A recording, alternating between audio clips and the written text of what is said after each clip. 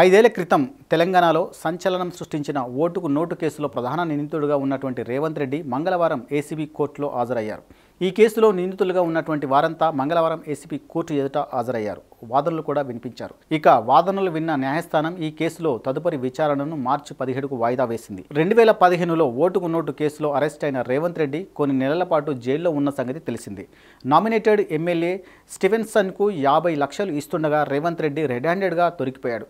దీనికి సంబంధించిన వీడియోలు కూడా అప్పట్లో వైరల్ అయ్యాయి. అప్పుడే ఏసీపీ అధికారులు రేవంత్ రెడ్డిని అరెస్టు చేశారు.